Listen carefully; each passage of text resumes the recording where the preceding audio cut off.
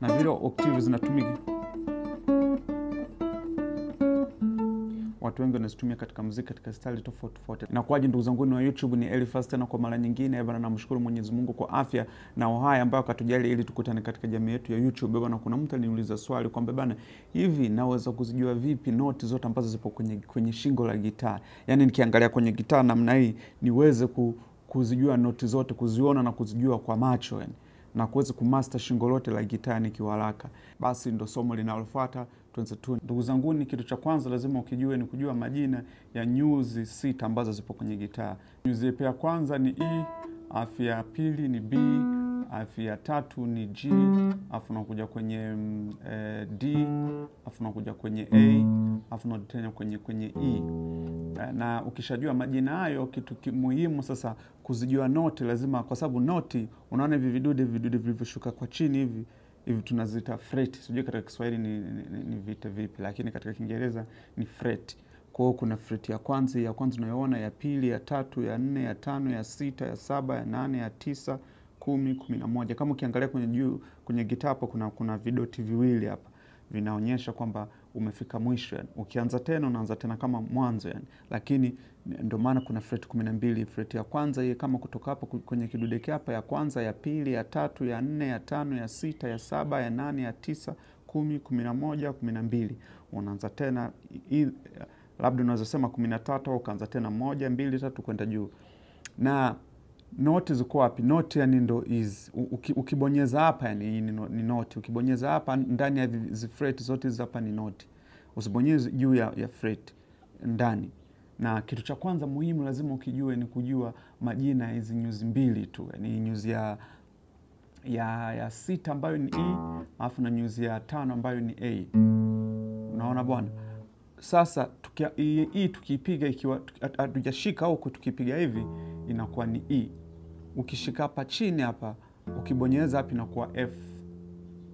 Na kitu kingine ambacho kuna, kuna video nimefundisha na naelezea kwamba katika mziki tuna noti kumi na mbili ambazo zinatumia tu herufi saba ambayo ni A, B, C, D, E, F, G alafu tunarudi tena kwenye, kwenye A. Kwa hiyo ni herufi saba tu katika muziki ambazo zinakuwa zinatumika, na katika gitaa tulianza na hapa kwenye nyuzi ya sita ni kuna kwenye kwenye herufi E na hizo herufi zinakuwa kama mzunguko, yani zinakuwa zinazunguka hivyo hivyo. Ukitoka kwenye E unakuja kwenye F, unakuja kwenye G, unakuja kwenye A, B, C, unakwenda una- kwenye D, alafu unarudi kwenye tena unarudi tena kwenye E, unarudi kwenye F, hivyo hivyo zinazunguka zunguka hivyo hivyo. Hata kwenye news ndo zinakuwa zinaenda hivyo.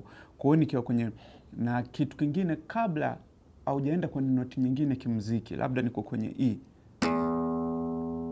kabla kwenda kwenye noti nyingine, kuna kitu tunakiita sharp au flat. Sharp ni wakati unapanda juu, flat ni wakati unashuka ni kwenye gitaa.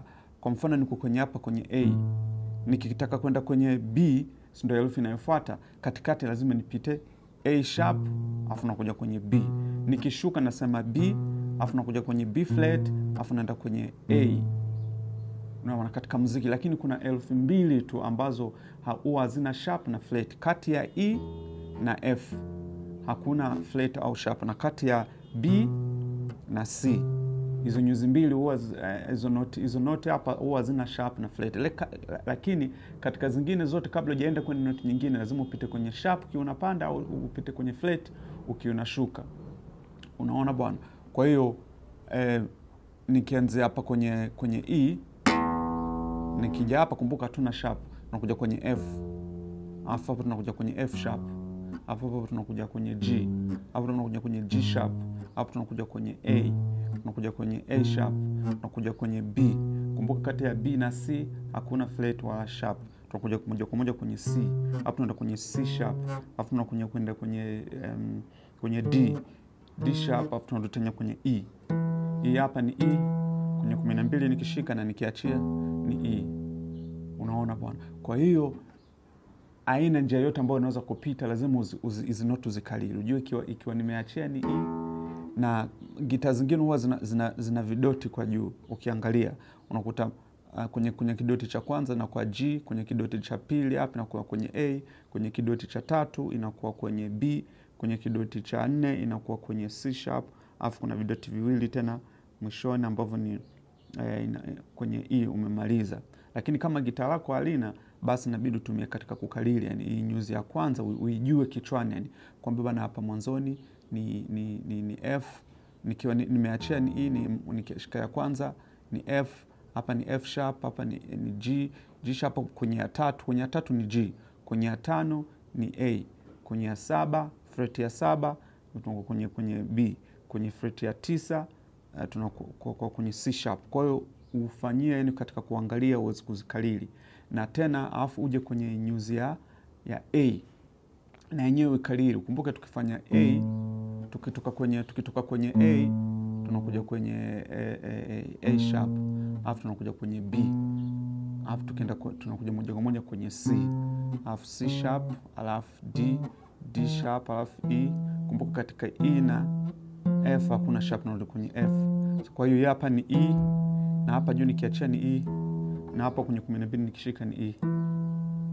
Umeona? Kwa hiyo tukitoka kwenye E tunakuja kwenye F, E, F, F sharp, G, G sharp tunarudi tena kwenye A kumi na mbili A na hapa ni A. Sasa hizi nyuzi mbili kisha zijua, kitu muhimu lazima ukumbuke ni kwamba hii nyuzi ya kwanza hii na ya sita zote ni E. Kwa kilichokuwa hapa, noti iliyokuwepo hapa na hapa na hapa na hapa ni ile ile noti iliyokuwepo hapa, sema tu octave yake ni pichi yake ni ya juu. Kwa hiyo hapa nikishika nikiwa kwenye E na hapa ni E. Niki hapa nikiwa kwenye kwenye C sharp na hapa ni C sharp. Hapa nikiwa kwenye B na hapa ni B. Kwa hiyo e, ukishaikalili nyuzi hapa basi na hapo unaijua. Alafu kitu kingine unakuwa unakifanya sasa, ukishazijua hizi nyuzi mbili, kitu sasa kitakachokufanya ujue um, e, majina ya noti zote zilikuwepo humu ndani ni kwamba unakuwa unafanya hivi. Sehemu yote utakayoshika kwenye nyuzi ya sita hii hapa juu, ukianzia hapa hesabu moja, mbili, tatu, alafu sabu kutoka hapa tena moja, mbili, tatu. Hizi not hapa, hii na hii hapa zinakuwa ndo ile ile, ndo kitu katika muziki tunakiita octave.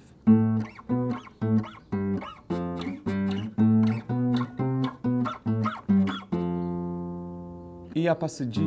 Kwa hiyo nikihesabu moja, mbili, tatu, alafu nikaanza tena hapa moja, mbili, tatu, na hii hapa ni G. Kwa hiyo naweza nikafanya hapa ni G na hapa ni G. Naweza hata kwenda kwa mbele. Moja, mbili, tatu, afu nikashuka. Moja, mbili, tatu, na hapa ni G. Kwa hiyo labda mtu akiniambia hii noti gani, yani nakuwa kiharaka haraka napiga mahesabu. Mo, moja, mbili, tatu, moja, mbili, tatu, naona hii hapa ni G sharp. Unaona, mtu akiuliza hii hapa noti gani, au mtu akiuliza hii hapa noti gani, napiga mahesabu moja kwa moja, moja mbili tatu, moja mbili tatu. Ah, hii hapa sinishajua ipo kichwani tayari, najua hapa ni B. Kwa hiyo hapa zinaitwa octave. Kwa hiyo nilivyosema, ukitaka kujua, ukitaka kujua noti zote zilizopo katika kwenye nyuzi ya, ya D unatumia E ukihesabu mara tatu. Labda mtu akisema hii hii hii noti gani, unakuwa unapiga kichwani tu moja mbili tatu, moja mbili tatu, hii hapo ni G. Na vile vile kwenye ukitaka kujua noti ambazo zipo kwenye nyuzi ya ya hii hapa ni ya G unatumia hii hapa A, unahesabu vile vile. Mtu akiuliza hii noti gani, unahesabu moja mbili tatu, moja mbili tatu, hiyo hapo ni D. Kwa hiyo hii hapa ni D na hii hapa ni D, ni octave. No, maana yake octave ni noti ile ile, lakini ikiwa imepigwa katika picha ya juu, katika sauti ya juu. Sasa sasa hapa tunajua vipi sasa no, i, kwenye nyuzi ambazo zipo kwenye B. Kwenye B sasa ndo kuna kuna utofauti kidogo. Kwenye B utofauti wake ni kwamba una, una uhesabu moja mbili tatu moja mbili tatu, lakini kwenye nyuzi ya B unahesabu mara nne. Hapo unahesabu moja mbili tatu, lakini hapo unaenda moja mbili tatu nne, ndo utofauti kwenye B. Kwa hiyo mtu akikuuliza hii noti gani, unakuwa unahesabu moja mbili tatu nne, alafu naenda moja mbili tatu unajua pia ni G kwa sababu ukiangalia tena moja mbili tatu moja mbili tatu G G na huku G. Kwa hapa octave na kunashika hivi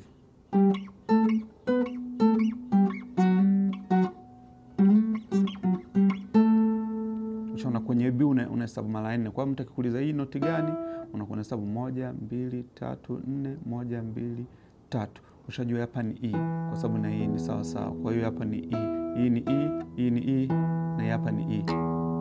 E, E, E. Kwa hiyo nikifanya hivi naweza kufanya e, e, e, e na e tena nikiachia, unaona e moja mbili mbili hapa ya e, ya tatu hapa ya nne, zote hizo hapo ni e, unaona mna. Kwa hiyo kwenye nyuzi hapa ya, ya, ya B tu ndo nakunaenda moja mbili tatu nne, na vile vile kwenye nyuzi ya sita kumbuka unakuwa vile vile nyuzi ya kwanza hapo unaangalia una, una, una, una kwenye nyuzi ya sita kwa sababu ndi vile vile. Sema vile vile ukitaka kuiangalia kukipitia kwenye string ya G unafanya vile vile moja mbili tatu alafu moja mbili tatu nne. Kama ulivyofanya kama ulivyofanya hapa kwenye kwenye kwenye kwenye kwenye G Mo, moja mbili tatu moja mbili tatu nne. Na hapa unafanya vile vile moja mbili tatu moja mbili tatu nne kwa hapa kwenye kwenye kwenye D na na B unaenda hivi, kwenye G na B no string news unaenda hivi. Kwa hiyo sasa unakuwa unafanya mazoezi ya namna hii.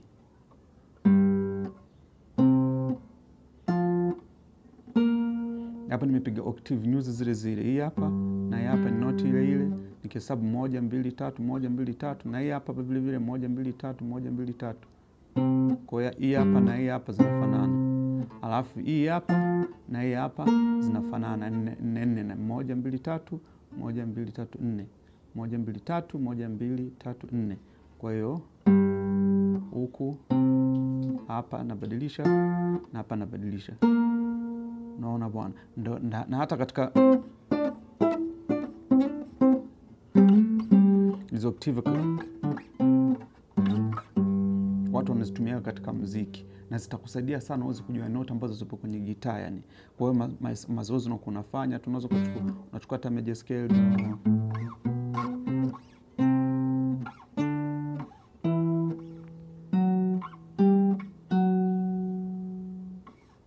naona hapa hapa